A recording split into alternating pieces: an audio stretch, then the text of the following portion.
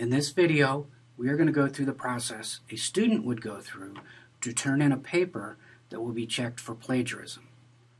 So we're going to begin by going to our course menu and going to the content area where the assignment is. We're going to scroll down to the assignment and we're going to click the View Complete link.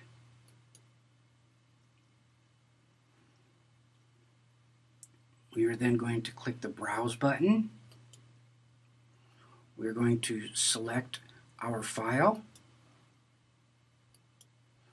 We're going to check the box that says I agree to submit my paper to the database.